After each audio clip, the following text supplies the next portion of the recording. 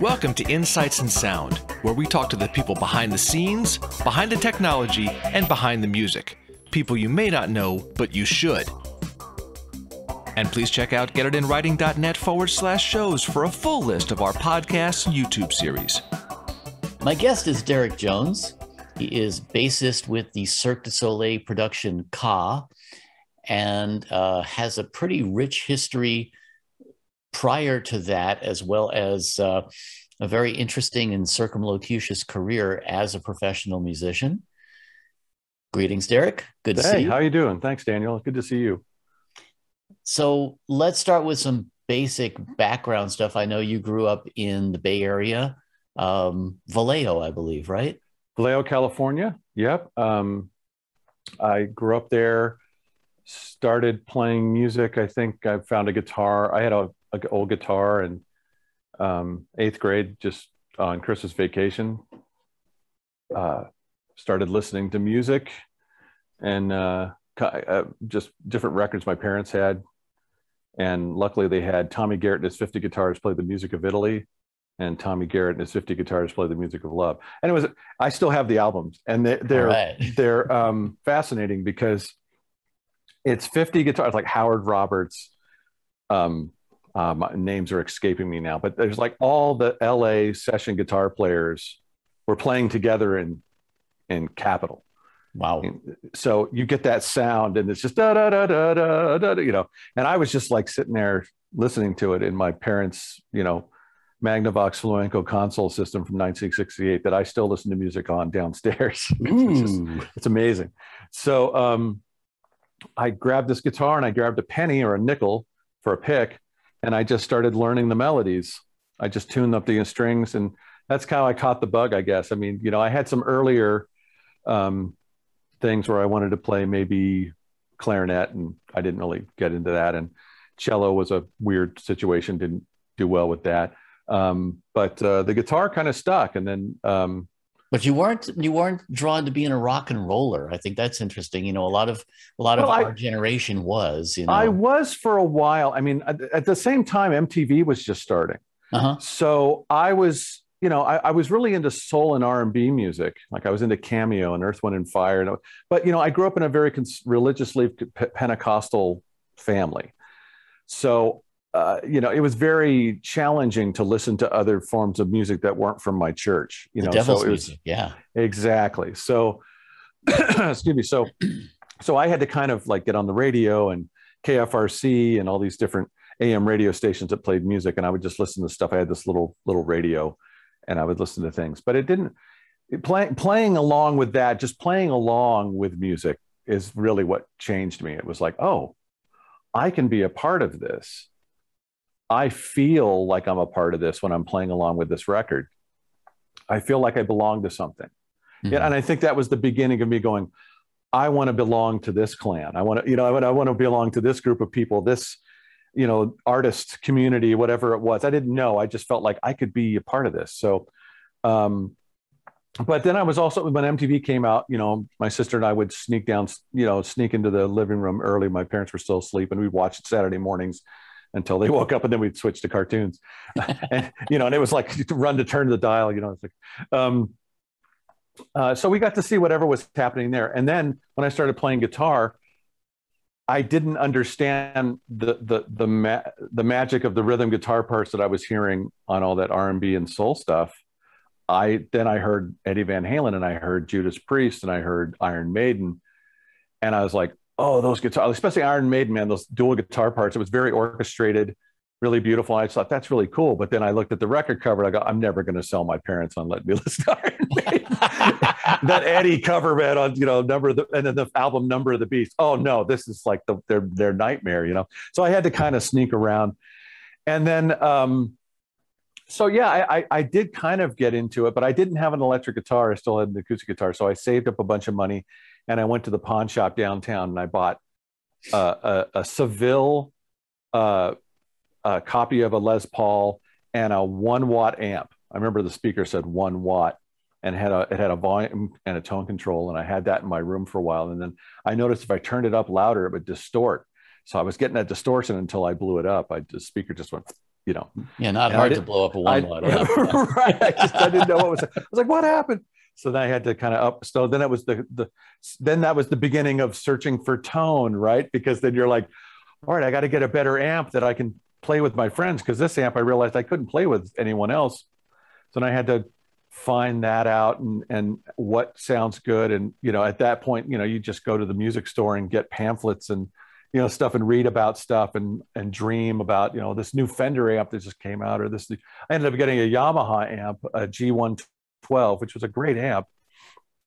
I could barely lift it but I you know I had that that was my first like I could do gigs with this amp kind of amp. And and um, so I was still I was still into you know the metal stuff and of course Motley Crue. I wasn't as into but I yeah it was just it was just what I was hearing on the on the radio. And then uh, I remember the last day of school in the ninth grade because uh, junior high where I was at was seventh eighth and ninth grade and then high school was 10th 11th 12th so we were everyone was allowed to bring their boom boxes to kind of you know play their music which was a cacophony of sound but I was walking along and all of a sudden I heard this one thing and it was Rush's Moving Pictures album and it was Tom Sawyer. And I stopped in my tracks and I went up to the guy and I said, What is this? And he told me, Rush. And then everything changed again because then it was like, I can hear every instrument. I can really hear the separation. And then it became, you know, awareness of a mix. you know, like like when I look back. really interesting. Yeah, that's a really interesting point because you, you touched on that briefly a minute ago, and I wanted to redirect you to that Sure. again. The the understanding, not in this, I mean, it's one thing to be drawn to the music itself as a player, but I think it's another also to be when you awaken as a young person or you know as a beginning musician to the universal language of playing together of Yes. that communication that interaction between parts between musicians that's a that's a magical language well, I was talking to my son about this. He's he'll be almost, he'll be ten in a couple of months, and I was telling him the reason I really want I wanted to become a musician was the fact that I don't have to speak the language of the other musician to have a connection with them. I we can sit down and come from di- disparate parts backgrounds, but we can play a note together and smile. We can play a note together and start down. And if I can eat some of their food, maybe learn some dance steps, understand maybe some of their words, but music was the the key to unlocking the door to being part of a global community uh-huh you know because i didn't just like one kind of music i mean i i did like one kind of music for a while and then rush odd time signatures. Where do they come from? I mean who list oh if you go to bulgaria those aren't odd time signatures. They're just time signatures. Yeah yeah they they yeah. they dance in 5 and 17 16 and whatever. That, that's just part of their oh my god you go to india. Oh these are microtonal stuff and things like that. Yeah yeah, this is just natural to them. To me, it's like blowing my mind, but to them, it's like normal everyday stuff. And then it just opened me up to that. It, it excited me to say, man, I could find. It's not just I can play with my friends. If I get, if I get really good, and I can keep an open mind, I can meet people from all over the world and play with them. And that was my whole goal at that point. I mean, I was like 17. I mean, I started, um, you know, I, I started gigging when I was 15. So I started playing guitar and then I got really into it. I heard Rush and then I was like, okay, that's Alex Lifeson's blowing my mind here. But everyone in the band is blowing my mind because I could hear everything and I could really hear hear what the importance of what the notes were and the placement of the notes. I wasn't maybe getting it then. I was just in, you know, I was like a sponge. I couldn't really tell you why I was attracted to it, but now I can look back and go, it was because that was the first band where I could really every every part was everybody was playing something, they were playing great, and it just that that hit me. And then I became this Rush fanatic that had to get every album I could find.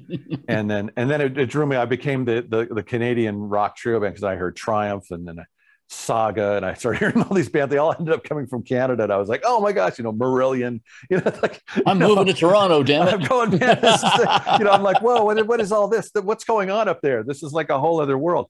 Mhm. And um, and so you know, uh, but uh, yeah, I just I just wanted to connect and um and, and be a part of something. And it was kind of the irony is I was going to church three times a week and I wasn't connecting with anyone. You know, I was just like, uh, I, you know, not understanding why and not I was just like, what is happening? You know, so but well, music the, the the roots of the of the music of music in the church, you know, those are very, very different in a sense because it all comes from, you know, sacred monody and stuff like this, you know, right, which is in a way the almost the antithesis to what you're talking about, which is a growing of not only a musical vocabulary, which I think, you know, obviously is something that you've endeavored to do very, very strongly over the years. We'll get into that in a minute too. Sure. Um, but also, I think the, you know, a lot of the music that comes from the church, and I, you know, I use that term sort of generically,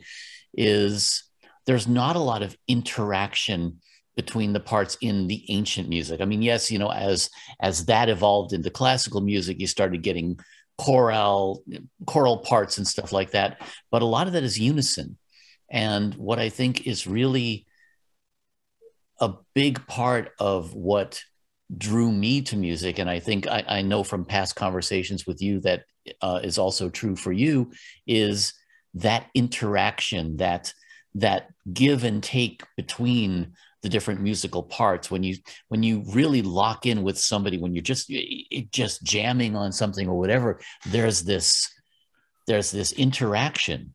Yes which brings me to the one time i went to my friend's church was a which was an african american baptist church Ooh, there's a different world and i uh, my mind was completely blown mm-hmm. i was like what why are we you know and then that gave me the ability to see, oh, people these people are, are having fun. people have everybody has a different approach to whatever they do. Mm-hmm. Why can't we bring these all together? That that got me thinking about why is church the people go here, people go here, people go here. We all separate, do our little thing, and then we, come. you know, it, it, that was a whole that's a whole other conversation. But I, I don't think I mean everybody's church experience is is different. Mine was what it was uh, we had a pastor who was a classical pianist and his thing was just playing like Liberace on every, you know, he was like, you know, and so was, for, for, the first half of my life, I had Liberace as a pastor, you know, and then, wow. And, and, he was like, you know, playing, you know, he had his hair up done really high and he was, you know, I was, that was his pl- way to, you know, kind of showcase himself, I guess. But, um, you know, um, it, it I think I think what I remember going to a youth group meeting on Wednesday night, and this guy came to talk about Satan in, in secular music. And one of the one of the first pictures was one of the Rush album covers. And at that point, I went, "You lost me, man. I'm out. I can't. I can't listen to you. Yeah, I get Eddie, and I get like Number of the Beast. Yeah, I could see how you would think, but no, nah, man, you can't take Rush away from me. I'm not going to go anymore. I just can't. I'm not. I'm not. I'm not going to stop listening to Rush. I'm sorry, but um, but then you know, as it evolved, uh, I, I got into jazz band in high school. Um, and then the drummer said, Hey, i am in this band that rehearses on Monday nights at the Moose Lodge, the Generation Gap Big Band, and they need a guitar player. Would you want to do it? And I was like, Gee, I, wow, that sounds intense. Uh, sure, you know. And um, luckily, I, I, saw a, um, a documentary on on PBS about Freddie Green uh-huh. and his guitar. And I remember watching that the Sunday before the Monday night rehearsal, and I went, Okay, he played quarter notes. I can play quarter notes. That's what I'm going to do, you know, because so I show up and and um, uh, you know it was a little tenuous because I was more of a rock and roll looking kid. Um, but um, I had some friends in the band, and one of the piano player was mother of a couple of guys I went to high school with. She was, you know, uh, anyway, I, I played, and they were like, great, you know, and I just knew to just play quarter notes and lock with the drummer, and you know, and that was my first, you know, we we played we and and everybody danced, right? So you know, you're in the Moose you're playing, we're playing tunes like they had some of these guys played with Tommy Dorsey and Stan Kenton, and you know, and so we had all these original charts, string of all these tunes. I didn't know. I'm just reading them, man. I'm just, I just, I'm playing in a band. you was like so. My first band wasn't a rock and roll band. It was a, it was a, a, a big band, playing tunes from the 30s and 40s. Which is actually I think musically that's not bad at all because a lot of those tunes Dude, it was, it was are based amazing. around melody and they're based around interesting chord. Harmony. I'm Yeah. hearing the saxophone section, the trombone section, six Yeah. trumpets, and me, and I'm listening to what I'm playing, and it really opened me up. And then I would just sit down and listen to guys talk, Mhm. you know, and and tell their stories. I learned how I learned that it's not good to practice on the gig because the whole trombone section stood up and yelled at me on a gig to shut up. And then I realized, okay, yeah, I, I got to remember these ideas for home. so the certain great things. I learned a lot of stuff on that gig and I made my first $25, $30 check. And my mom said, You're a professional. And I went, Yep, I'm quitting school. She went, No, you're not. You know, but I, at that point I was like, I can make a I if I, you know, if I have to live in my car, but I can play with the greatest musicians in the world, I'll just live in my car. I don't care. I just want to do this for the rest of my life. And at that point, I didn't really plan on, I didn't know how it was going to happen, right? I just, I just loved playing. And then uh, just before my, la- just for my 12th grade last year of high school, I would go to the record store because I was just looking at that point. Um, you know, my friend who had asked me to join the big band, I went over to his house. He played me Allan Holdsworth. And I was like, oh, I don't even know, you know, the Road Games album. I was like, oh, I don't even, should I even play guitar anymore? I don't even know. And then he played me Miles Davis's Bitches Brew. And I was like, oh, what? I don't even know what this is. And then I heard Pat Metheny. And then Rush kind of took a back seat, sort of. And I heard Pat Metheny and I was done. And then I heard, uh, and then I started going to the library and they had a big record collection. So I would go and get some records and listen to those. And Romantic Warrior album. All of a sudden, who's Al Di Meola? Whoa! And I was learning all these Al Di Meola, trying to learn all this guitar stuff, and and you know, but one of those collections of records was Jaco's first album, and I didn't know who he Ah. was. I looked at the record cover and I went, I think he's a trombone player. So I read about him somewhere. I don't know. I just, I just grabbed anything. I didn't know who Charles Mingus was. I didn't know who Charlie Parker was. I would just grab records because I wanted to go, no, yeah, I've heard these guys. You So were a would get- sponge, basically. I just, I just wanted to hear anything Mhm. you know, Deodato. I mean, yeah, whatever. I just grabbed albums and put them on and listened. And um, Jaco's record came on, and when it was done, I was I was crying. I was like, I have to do. I I, I don't know what I'm going to do. I have to do this. So So was this I- the transition to bass then? yes, this was an immediate boom. I wasn't a guitar player anymore. I had a I had an Allan Holdsworth model Ibanez guitar on layaway at Best Music in Oakland, California. Next day, I drove down there and put a bass on layaway. Guy was You like, know, "What are you doing?" And I was like, "I don't know. I have to be a bass player." That's so funny because I had a similar experience. I I also came up playing rhythm guitar. I had dabbled in bass, and I was playing rhythm guitar for several years in bands. And I actually had this beautiful custom wired E ES335 from the folks at Alembic. Oh yeah, And uh, well, my buddies. Yeah. yeah, well, at that Rick point, Turner uh, probably helped make that. yeah, there was a um, at the very beginnings of Alembic, there was a uh, they had a store as well called Stars Guitars. I remember Stars guitars. And I walked in there with my 335 that Ron Armstrong, may he rest in peace. Oh, uh, I remember Ron. well, Ron had worked on that guitar, wired it for stereo. And I came in there and I said, I've decided I'm going to be a bass player. And he looked at me and he gave me one of those looks that only your dad could give you, you know. Right. I have a Ron Armstrong story. Well, uh, so so, Yeah. so I'll I'll, I'll Yeah, no, no, very I- briefly. We can do it um, later. I um I was looking at this vintage 57 precision bass hanging on the wall and I played it. And I played a couple of others too, but I decided that was the one I wanted. And I said, you know, will you trade me straight across? And I to this day remember him agreeing to that and then putting the paperwork in front of me and saying to me, okay, sign here where it says complete fool. That's but great. but I, I truly, you know, to your point, I truly understand the draw of bass as opposed to guitar. They're different worlds, and there's a there's a completely different role that the bass player plays. I didn't understand any of that really. I get. I, I agree with you completely. I didn't understand. All of a sudden, I just I just heard, and it wasn't really Jaco's. It was of course Jaco's playing, but it was also his composition and his way of playing lines. Mhm. Um, but I just I just thought I, just thought there's another level here, and I feel like bass is where I want to take it to. So I just got a bass, but I didn't really understand what bass was.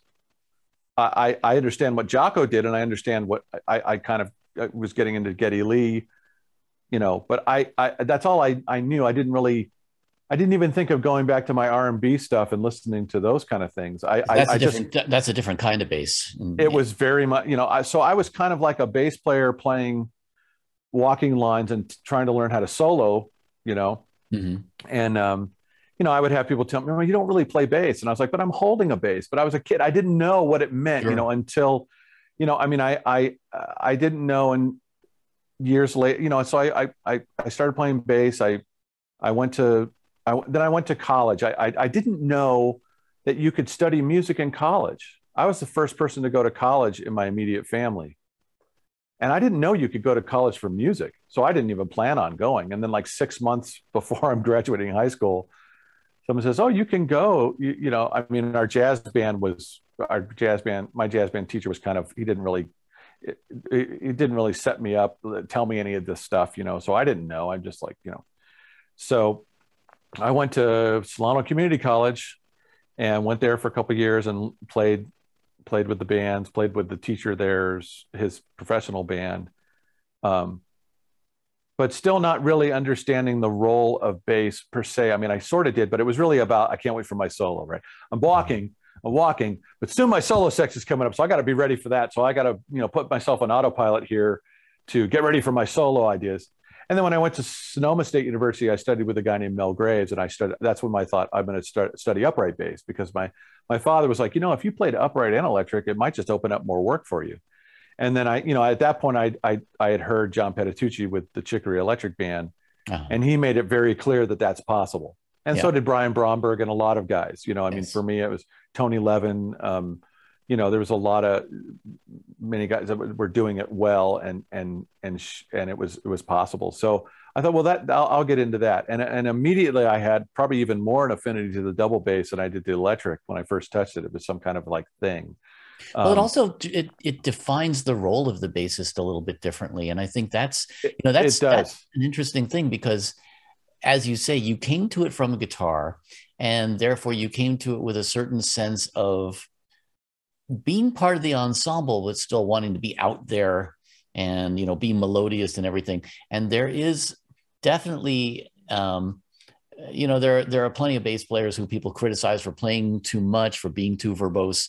Um, people like Jaco are the exception or were the exception in the sense that they could hold down that bottom they could groove. Then when that little 10 seconds come when you can shine they wail, but then they drop right back into that groove. And I think that's the that's the the role of the bassist that uh, that I know you've embraced because I've heard you play, and I know that you are, you know, not only highly capable of it, but very understanding of that. You know, there's um, I like to say that uh, a lot of times as a bassist, you know, people don't notice you until you stop playing. Yeah, exactly. And and I, that was the role. I still hadn't gotten that yet when I got to Sonoma State. I was I was more focused on technique and learning how to play this double bass. Mm-hmm. And um, then I I remember going to the Pacific Coast Jazz Festival the second semester, which I had um, Pacific Coast Jazz Festival UC Berkeley is like the big jazz collegiate jazz festival competition, which I can't stand competitions in music. Let's not go there. But um, I, I won. I won the award for best bass player of the festival, and I'd only be playing upright for like seven months. And um, but when the guy told me, "Hey, you Derek Jones, you won the award," I went, "Great." He said, "Well, when you come to the award ceremony," and I said, "I'm not going to be there." What? I've got a gig. I am playing. A, I'm. Play, I got. I won't be. I'm here for the grade, man. You know, I. I, I got to go. You know, and he was like, "What?" I said, "Yeah, give it to somebody else. They'll get it to me. It's no big deal." You know, I, I just saw it as like whatever. You know, and in fact, eventually, I just stopped going to school because my parents bought me a box of business cards. So why don't you see if you can do it for real? And that's when, when I got out of college, for me, now I can't say this for everyone else. I can't say quitting school, you know, but for me, I knew it doesn't matter how good you are, you know. Uh, I think I think I, I played a graduation ceremony for Sonoma State, and some of the students who graduated with their BA or their master's in music, and I asked them, "What are they going to do?" And one of them said, "I'm going to be a cartoonist in in New Orleans."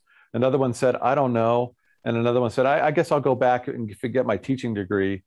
And these were all badass musicians. And I was thinking, well, what did you just spend eight years of your life playing in this school? And now you're not even going to do it now? You know, it's like, so that really hit me. And I was like, man, I got to get out and start meeting people in the world. Like, like, you know, so I started going to jam sessions and then I started getting calls, you know, and still not getting it. What changed everything for me as a bass player was when my friend Ben Heverow, we were teaching at the same music school, and he said, "Man, are you are you into Latin music at all?" And the only thing I knew about Latin music was Carlos Santana, which was I, I was a big fan of. I'd come home and play to the Moonflower record every day after school because mm-hmm. I love that album. Which but, ironically, but that's not really typical. That that's no, that's, that's what I mean. It, yeah, yeah uh-huh. it's it's the derivative. It's, it comes from there, but it's not that. So I said, yes. man, I only really know that stuff. And um, he said, well, why don't you come to the house, man, and I'll show you because he was playing in this band Los Kimbos Noventa. Ah. And that was like the band. And it was like Orestes Vilato's band, Father and Mom Timbali playing from Cuba, like genius. Played with Cachao, played with everyone. And and so I went, sure, man. So I'd go every Tuesday and him and a conga player, uh, forgot his name, David or Danny. We would play t- we would play through and they showed me what tumbao was, the bass line parts, and what clave was, and how three two and two three clave, and how it shaped the phrasings of the horn section and the dancers um, and we would just play tunes, you know. And and I started and and, and I realized, wow, if I don't do this line, the conga part doesn't work, and the piano montuno play, montuno the piano doesn't work. Oh, it's a part. Oh, I have a this is a rhythmic role. I'm like a drummer that plays notes. And then it started dawning on me like, oh, playing bass. You know, before it was just I play jazz tunes and walk and you know, all this stuff. And and I'd play in rock bands, a little bit in blues gigs, you know, and I do do, but I wasn't really thinking about the role of it. You know, the the, the reason why the, the placement of the note, the length of the note, the loudness, and the bridge, of the note. really being the bridge between the rhythm and and exactly. Melody. This is yeah. this is what really got me. And then uh-huh. and then he said, "You want to audition for Los Kimbos? They're having a big audition." And I went, "Yeah, man, I just want to meet Orestes." Uh, and this is the thing, maybe where I was telling when I taught at UNLV for a couple of semesters, I would tell my students, show up. Just go somewhere. Don't think about it. You're never ready. You are never, you know, no one's ever ready to do anything. Yep. you, yep. you just show up. And I would show up to jam sessions, not ready. I, maybe I'd have one tune. I'd get lucky. What do you want to play? Uh, uh, autumn leaves you know it's like but i knew that tune or, or, can i play the head on blah blah blah you know and and and I'd, I'd have some things ready but but most of the time i was way over my head and at this audition i was way over my head and i've said this story many times Orestes comes in he sees me my friend ben introduces me to him and and he says uh, you know uh, well some people know salsa and then some people know salsa and i said well sir i'm about right here but I'm just I can't believe I'm standing in front of you. I just I'm just so honored to be in your presence. And he went, okay.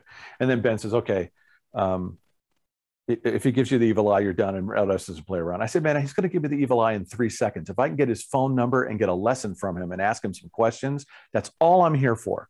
That's it. But they had given me three tunes to work on. So I worked, I did my homework. I'm not an idiot. You know, I, I always get shocked by people that actually have the charts and then don't work on them uh-huh. or have somebody gives them two weeks to prepare for something and they wait like to the day before. And then they wonder, I didn't get the gig. And I always look at them like, yeah, because you sucked, because you weren't prepared. You're I mean, a success, maybe. Yeah. yeah, yeah. You know, it's like it's like, come on, you know, sure. maybe. But but for me, I just worked on all the stuff, and then we went through it. We started playing the first tune. Orestes is looking at me like, whoa. And then I'm thinking, oh, what a nice guy he's going to let me play the whole song.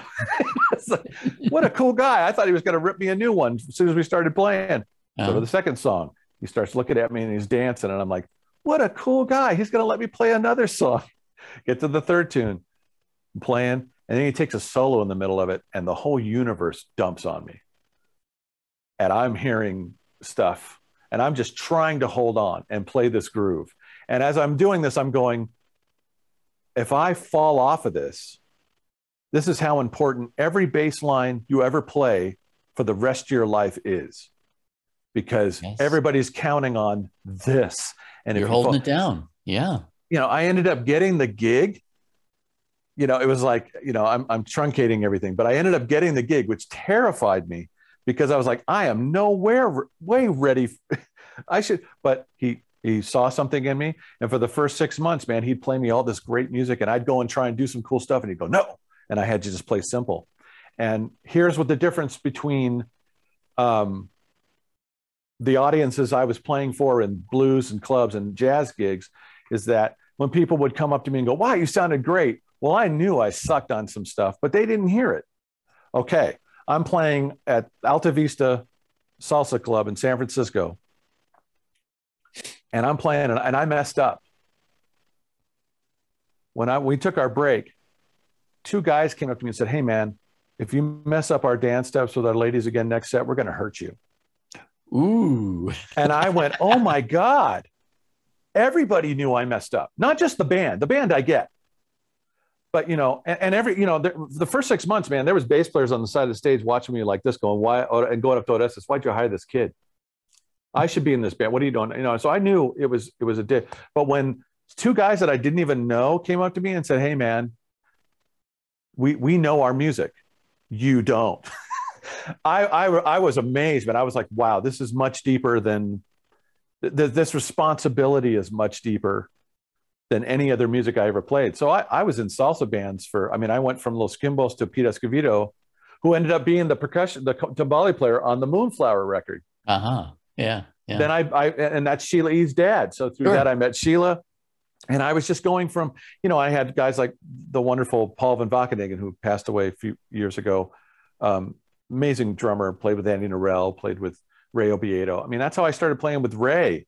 That's how I started playing with Pete, because Paul said, hey, this, you know, Pete's brother Mark, amazing bass player, plays with Tower Power now. Yes. Mm-hmm. Um, didn't wasn't going to be able to play in Pete's band. Well, I played with Ray Obiedo and Pops came and played. And then he said, Derek, can you come down to rehearsal?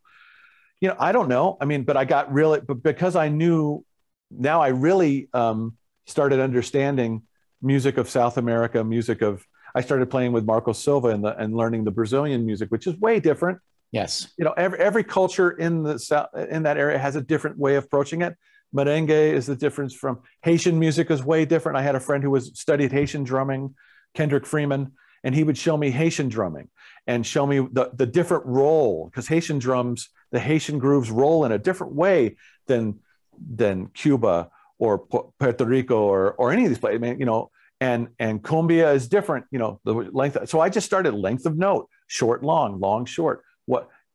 Oh, loud, soft. How do I? You know, that became the most important thing. And then it was like, oh, okay. So then because I I I I studied that, then when I played a jazz gig What's my role? How do I make this walking bass line? Then I listened to Ray Brown and Ron Carter and Dave Holland and all these Mark Johnson and everybody so differently because then I was like, I wasn't listening to their solos per se.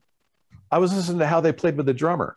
Right. You're listening to the groove. And I and I am listening to all that. Yeah. To your point, what what you're saying here that I think is so important is that you worked on gaining a musical vocabulary yeah that was broad and that i think you know it's funny you know you mentioned like you know you, you mentioned previously rush now years ago i um, had a conversation with um, with a heavy metal musician talk to me about rush you know mm-hmm. i've talked to country musicians who've talked to me about rush you know yeah.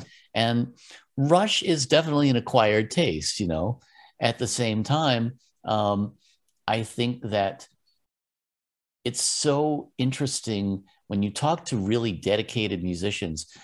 We are none of us one dimensional. You know, no. you, you, know, it's like a musician who may be known for heavy metal. You you know, you talk to them and then you find out they adore classical music. Mm-hmm. You know, there are so many different tie-ins there, and I think the importance of having a really broad musical vocabulary, even if you never play classical, if you understand classical, you're going to be a better guitarist. If you understand the, the evolution of different types of music, different genres of music, it enables you not only to talk to, as you say, different camps of musicians. It enabled it enabled you as a young white kid to fit into a, you know, to fit into Latin music, for example. But more than that, you bring all those influences to all the other music you do. And I think that enriches every every genre of music that you play. I think the important thing you said there was listening. Yes. Yes. Um, Paying attention. we don't have to watch the music. We, we and and and I didn't. I did have a book called "Funkifying the Clave: Afro-Cuban Grooves for Bass and Drums" by the amazing Lincoln Goines and Robby Ameen, just amazing musicians who played with Dave Valentine and did, and Mike Stern, all these people, and that was my Bible, kind of, you know, to learn how to play this stuff. But the accompanying CD that came with the book was it, and I think for anyone you know, it doesn't really matter, even if you don't understand what you're listening to. You've got to take the time to listen to this stuff. You can't just read it in a book. You can't just, you know, look a, look at a video, which happens a lot. And and I think, you know, the hardest part is to play it with others. You know, you have to find. I mean, I was very, very, very fortunate to be in the Bay Area when I was, to be able to play with people from all over the world. Yeah. You know, in that area, there was you know, I would do a klezmer gig, I would do a salsa gig, I would play with Paul Hanson, the bassoon stuff, and all his original music. I was playing with Kai Eckhardt in a two bass and drums trio because Kai had moved to Berkeley, to Berkeley, and I got a lesson with him, and all of a sudden I was in a band with him. And you know, these these people and all of these people, David Garibaldi was because I met him through Paul Hanson's band, and he was recommending me. That's how I met Ray Obiedo.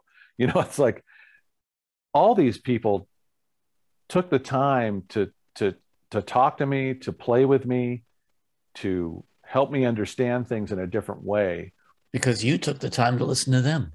Right, because because it was all about listening, you know, and mm. I I think that that really it's really what it comes down to is is sitting down and listening to a piece of music will will help you way more than having the chart and practicing the line because you don't know how to play the line. But if you listen to how the lines lines played, then you understand the phrasing, the shortness and longness of the notes, the the loud and soft, the dynamics, all the stuff, you know.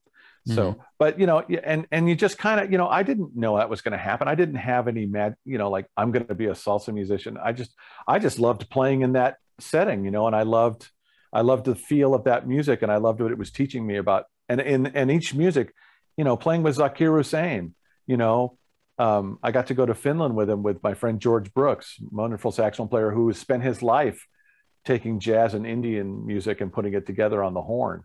And um, so it was George's gig at this jazz festival. And I remember, you know, Zakir just talking about, you know, like letting the instrument tell him what it was would be allowed to do in this climate.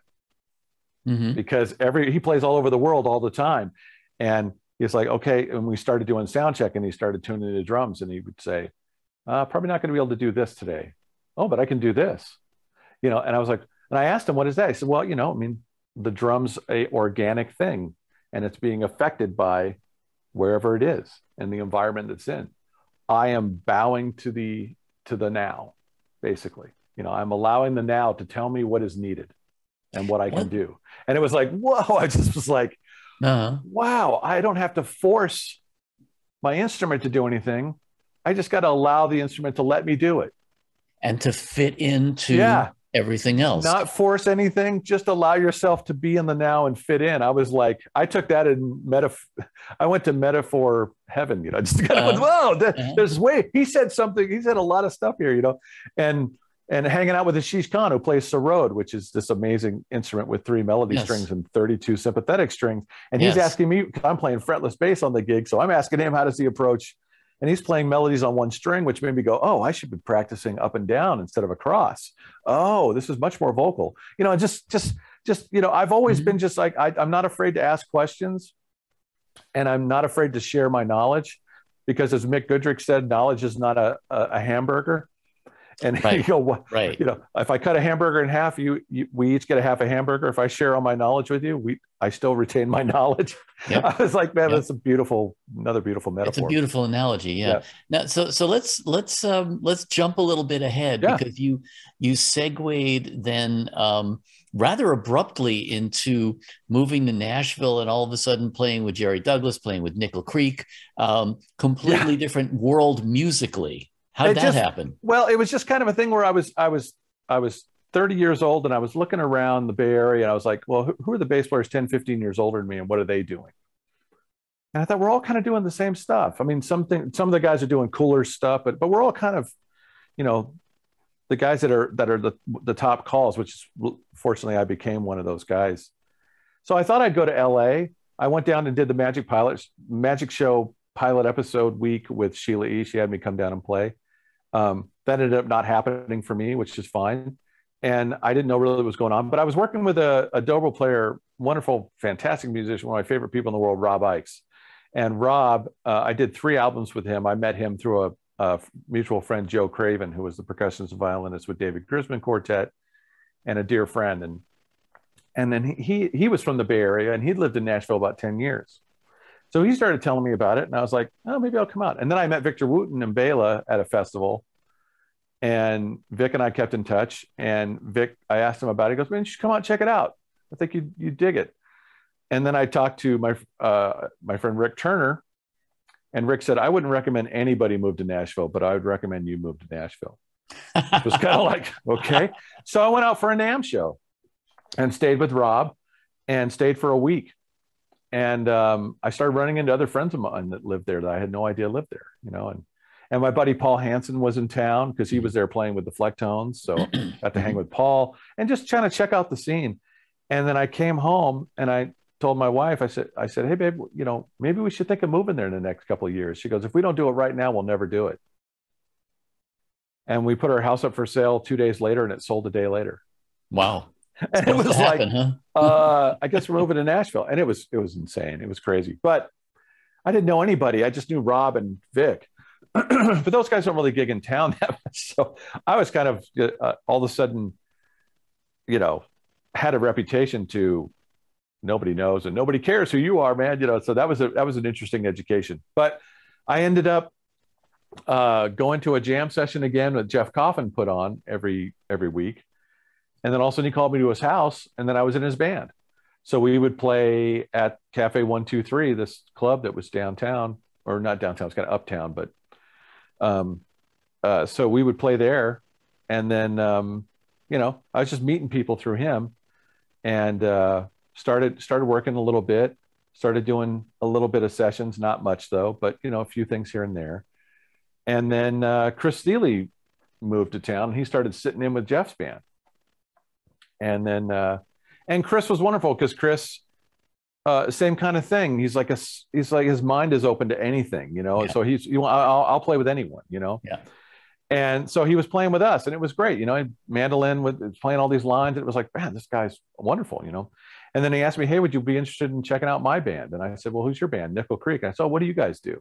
I wasn't really, you know, I had played with the Darol Anger, Mike Marshall band, so I was aware of Chris mm-hmm. through Mike, and uh, you know, and but I didn't really know what Nickel Creek was about. I'd, I'd heard different things, um, and then uh, they came over to my apartment and we played some tunes, and it was beautiful. And I said, "Sure, let's do this." So that's and that's kind of you know, uh, uh, it was kind of like I bypassed or or went around the five to seven year town thing I was told before you get any work. and a year later, I'm playing with this band that's just about ready to hit on country music television, right? So, and then yeah, so um, again, I, I didn't really know much about bluegrass music other than playing with Rob Ickes, but his was a, a derivative. I mean, his was kind of like he, he, was mixing it with different things. Yeah, I mean, and same I thing with Grisman. You know, Grisman was bluegrass yeah. but jazz, but yeah, yeah, yeah. He was creating his thing. So I, you know, but I ended up not playing electric bass for like four years in Nashville. I was an upright guy.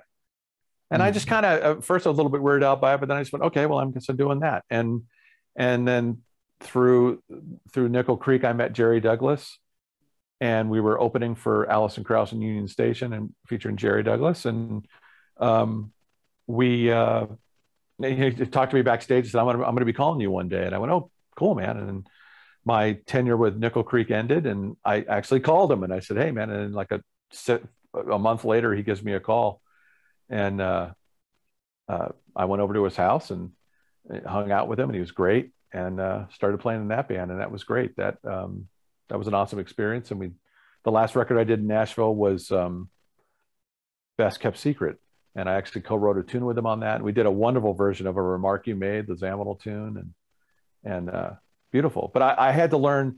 it was funny. I didn't really understand because none of these bands had banjo players. Mhm. And the banjo really is the drummer because Yes. they do all the rolls and stuff, you know. And then I, I I ended up meeting Kristin Benson, I think it was her name. Amazing banjo player in Nashville. She's just an incredible musician. And she was playing in this bluegrass band that I got called. I, I can't remember the name of the singer, but it was a friend of Rob Ickes'. And um, they said, "Would you come out and play a couple of shows with us?" and I went, "Sure." And I played with Kristin, and I went, "Oh." There's this groove just nonstop, eighth notes just slamming. And I Mhm. went, oh, I can lock with this is what you lock with. Oh, okay. And that really, she really, Kristin Benson, you know, I haven't really talked to her since those two gigs. But I always find, man, if you can get anything from anywhere, grab it and, and hold on to it. So what I got from her was the understanding of my role with a banjo player. Well, again, though, it goes And back to the same concept of understanding the musical interaction and where exactly you in what, where I place my notes. the which is way different. Yeah, Yeah. because you know, if you make your note too short, it sounds weird. If you make it too long, it's like, uh, you Yeah. know. So I would listen to all these guys. Uh, Dennis Crouch is a genius of that, and uh, you know, I'd go to see certain baseball. I'd go to the station inn and see Dennis play, and I just, and he's such a cool guy, and we'd hang out, and I just listened to him. And then once he had me sit in with the band, and that was really nice of him to let me do that, you know, to get a feel of Texas swing and and how that fits. And Mhm. he was a Bob Moore disciple. You know, he was like really into Bob. Uh-huh. Uh-huh. So yeah, yeah. So I just, you know, the Na- Nashville thing was just kind of a. I didn't know. I just knew. Uh, well, there was many reasons that I kind of went there, but I just wanted to try something different, and I guess Julie and I wanted to try something different. There was a lot. We did a lot of growing at that time because it was just three of us. Now we didn't have our families around us. It was like wow, you know. So I, I want to segue something here because you you've mentioned this a few times, and I think it's important to mention, um, and that is not just being willing to do everything and try everything, but really being willing to interact.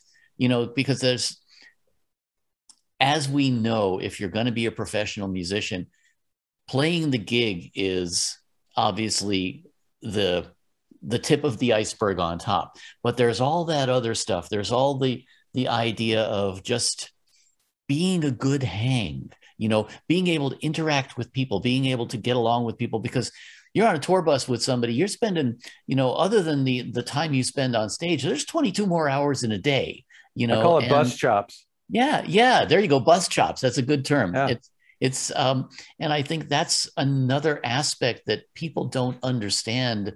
Um, you know, I watch a lot of a lot of great, you know, especially nowadays, you see a lot of not just bass players, but really great musicians who will turn on a YouTube channel and you know, or create a YouTube channel and they'll sit there and they'll play something and you just sit there and you know, I'm I'm watching 12 year old drummers and you know 10 year old bass players who just absolutely have chops that will blow me away. You know, at the same time, I think to myself, okay, but do you understand the dynamics of getting along with other people, of working with other people, not just working musically, although that's part of it too, because a lot of these younger people are just playing in a vacuum in that sense, but but understanding the dynamics of networking and you know making will. friends. You they know? will. They will. Uh-huh, I have I have a friend, a dear friend, and his daughter is one of those players. She's uh-huh. on YouTube. She just was on a, a national talk show, playing, just killing it. And That's she's cool. nine years old. Uh-huh. And a certain very famous bass player, a couple of them, who I will not name, started criticizing her and her family for taking advantage of her gift, and she will never have a job, and she will never understand this. And I have a problem with that because these kids are 10, 12 years old. They just love to play music. hmm They don't have the opportunity to play with a band yet, but their parents are musicians or whatever and, and, and encourage them and they put them on YouTube. Whatever you feel about that is fine. But to say now at that age, now, yeah, there's some kids that are older and they haven't played with a band, but they will and they'll realize, oops, Yeah, And and, they'll and I'm, fix and. I'm not criticizing that at all. Yeah. I'm just saying, you know, I Yeah. think that that's that's They don't have an opportunity. yeah. Yeah, they don't have an opportunity they're just trying to they're just trying to reach out and they're using YouTube as a way to reach out. Mhm. And some of those kids, like the, dr- the the drummer for Stanley Clarke now, Stanley found him on YouTube. And you know, you just you know, but he had been playing in bands and and stuff, and he was like you know right out of high school, and and and and that. But I think the the the underlying thing for me is vulnerability in all this. Um, allowing yourself to be vulnerable, man. You know, allowing yourself to Mhm. to to to to be open and vulnerable to other people's ideas you know you can't you can't um you can't create and and hide your heart and, and Yes. you can't you, you've got to wear your heart on your sleeve you know Well, to be able to really those connect moments, those moments that you're having those interactions, they're very, very special moments. And they are, as you say, they're very vulnerable moments where you open up to the groove.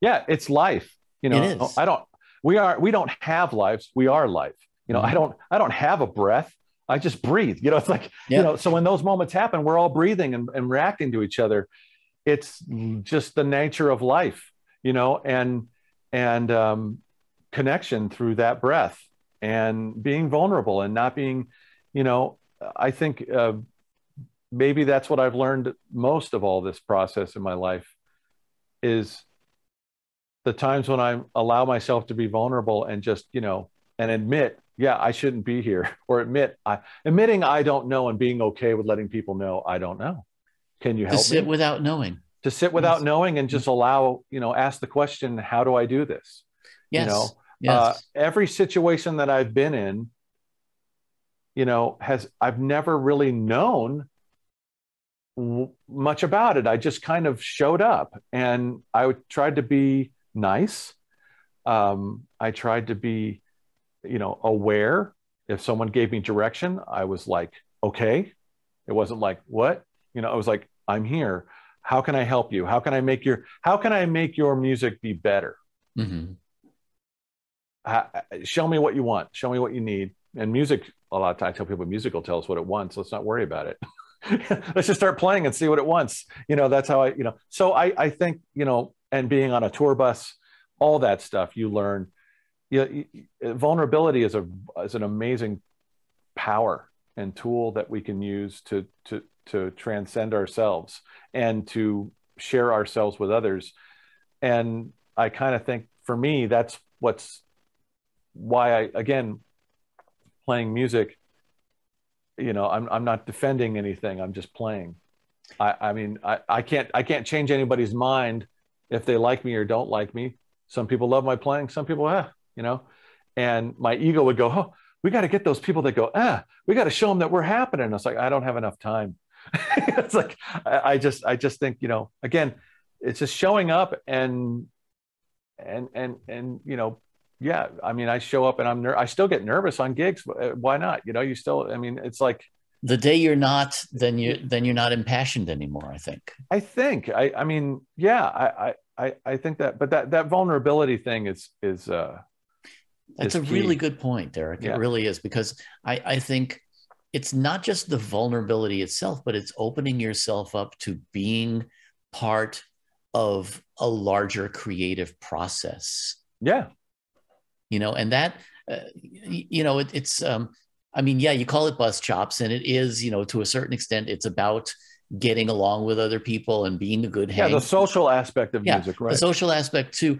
but again that comes down to as you say being vulnerable being humble and at the same time being confident and uh and and actually um I, I- know we're we're we're running we're running out of time, but I want to I want to segue that into something that you into a story that you told me, uh, which I think will illustrate a lot of that. You told me about um, your process of auditioning for your current gig.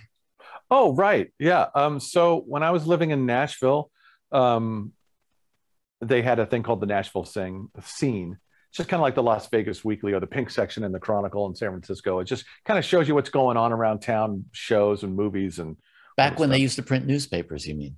yeah, right, right. and, and, and so I was looking through the Nashville scene and I looked on the bottom of one of the pages and it said Cirque du Soleil is auditioning artists of any kind. If you're interested, email us here. So I went, huh. Yeah. I mean, uh, the backstory on that is when when Julie and I moved to Nashville, um, we we were kind of struggling a bit because our house that we thought was going to sell all of a sudden maybe not selling. We didn't have any money. Christmas is like our daughter opening presents and us sitting in chairs looking at each other going, What have we done?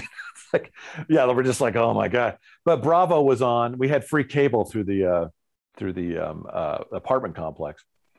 So we watched Bravo and it was Cirque du Soleil Day and we watched all the Cirque shows that day. And I was like, wow, this is really cool. Mm-hmm. Huh. It'd be fun to check a show out one day. That's beautiful. You know, Alegria was really the show that made me go, wow, I'd, I'd love to maybe do that someday.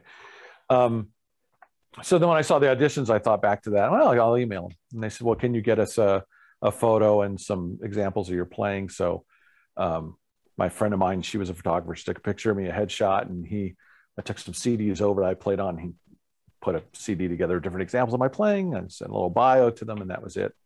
Audition August 4th. This was 2004.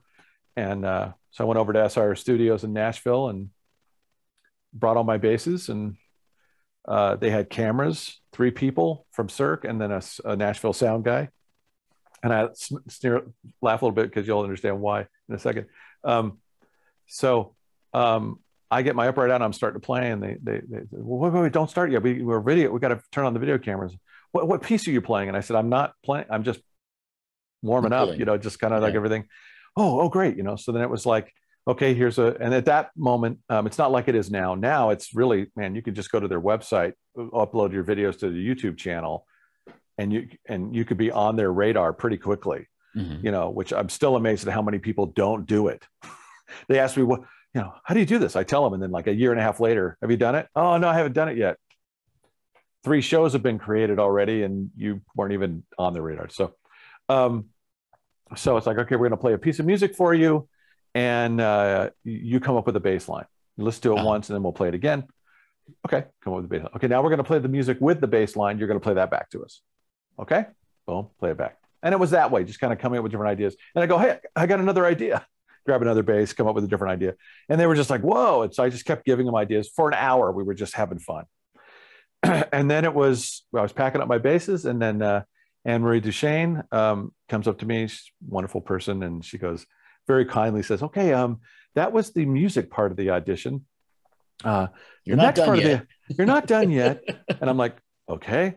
And she goes, uh, "We're going to have you sing and dance and act. And we know you're not a singer, a dancer, an actor, but we just want to see um, how you move and and everything." And I knew right then this is why every other musician tanks the audition because they say, "No, I don't do that."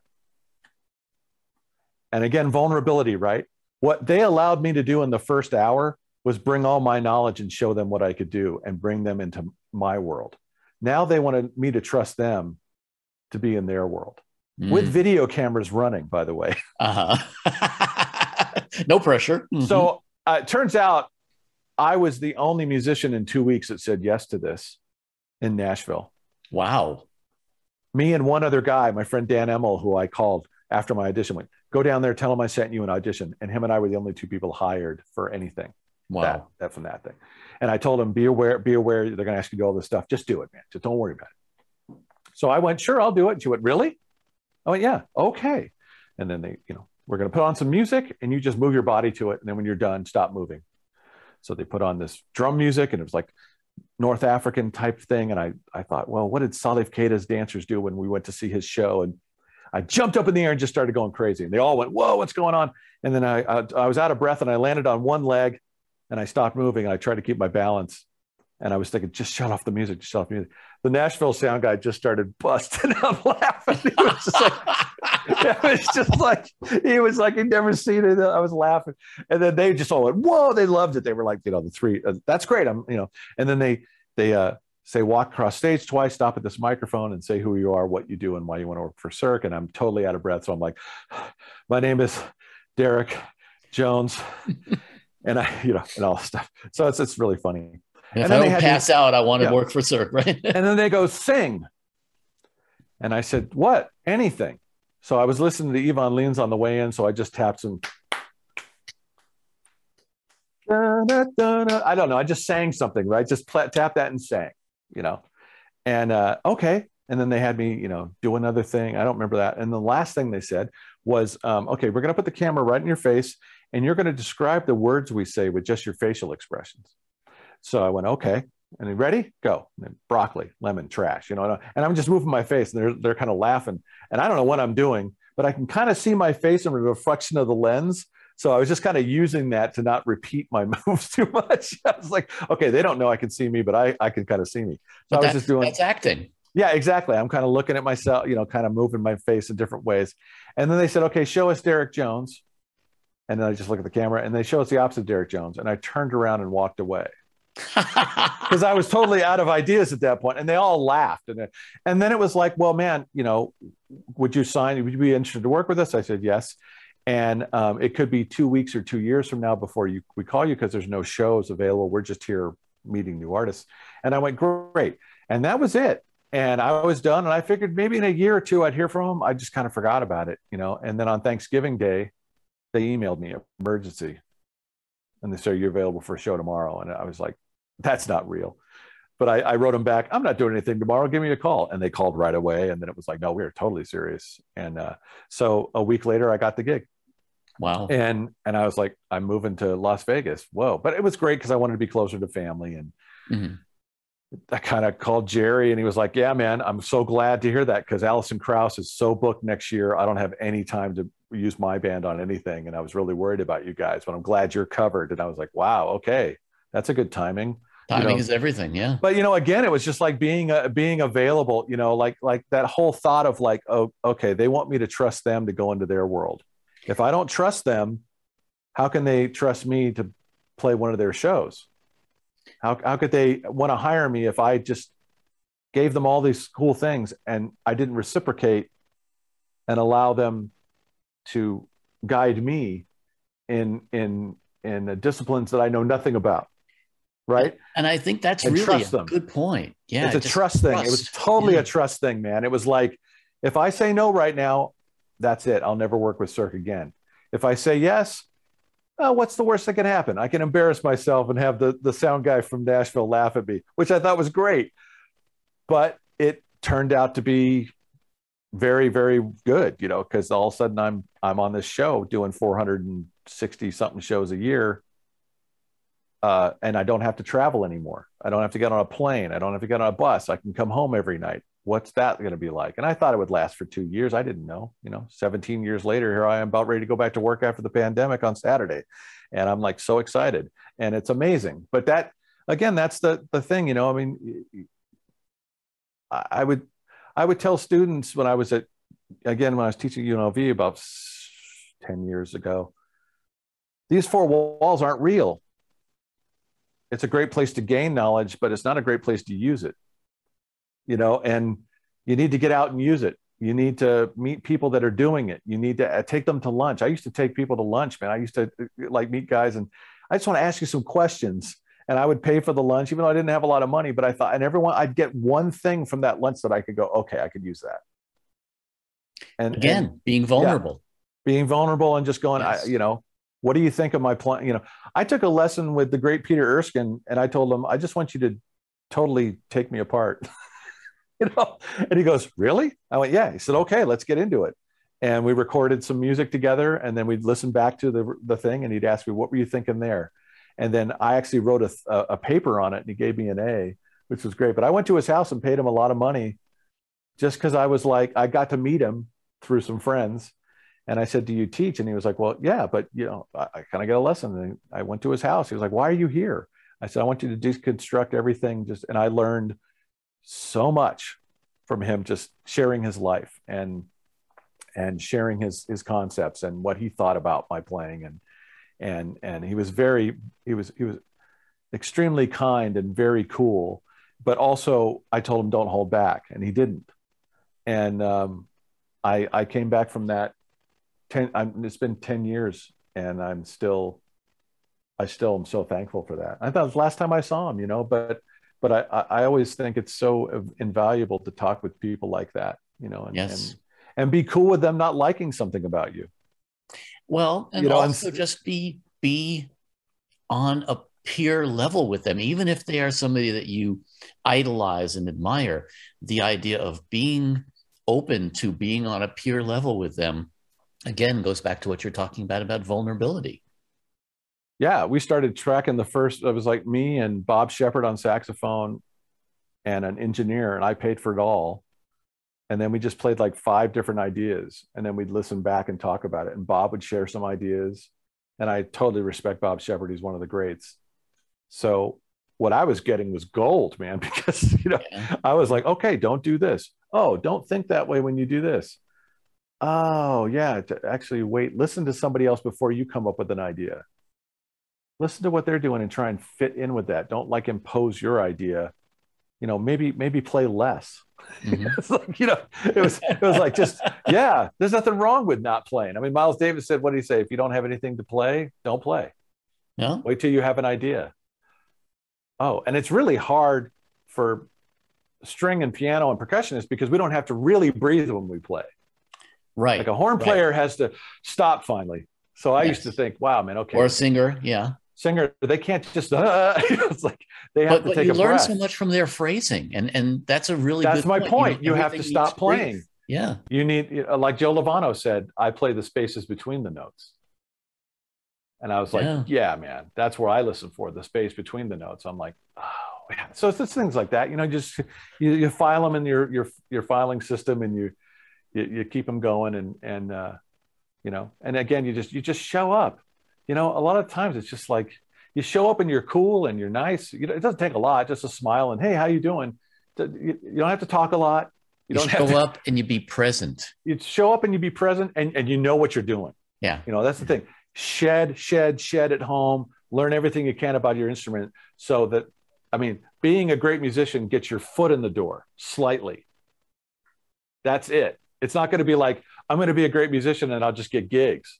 No, it's about chemistry, working with human beings, understanding socially how things work, and, uh, you know, being present, which, you know, is, is, uh, is the most important thing you know and, and get your get your chops together in whatever you do so that when the opportunity opens up you're ready for that but you're never ready for the other stuff you know you, you just don't know what's going to be what where and how you know you just but at least you're confident enough in what you're doing to be able to to get the job done and then learn from it in the process True stuff, man. there you go I look forward to seeing you playing live again soon. Yeah, man, I, I'm, I'm I'm excited. I mean, I've been doing a, doing a few gigs here in town and sessions and stuff, but it'd be nice. It's going to be nice to get back and see everyone and see the family again, and and man, play the shows again, and and and see how it's evolved because we're all different now, right? Year Yeah. 19 months, Wow. 19 months, man. So it, it's going to be a a fascinating, ev- you know, evolution to experience. You know, to s- excuse me, to see how we've grown and what we've gone through. Everyone's gone through some really hard times, you know. So Sure. Sure. it's going to be uh, Life changing. good, yeah, Yeah. life changing experiences, and it's going to be really good to to reconnect again. So, yeah, Derek Jones, thank you for being my guest. Daniel, it's been a pleasure as always.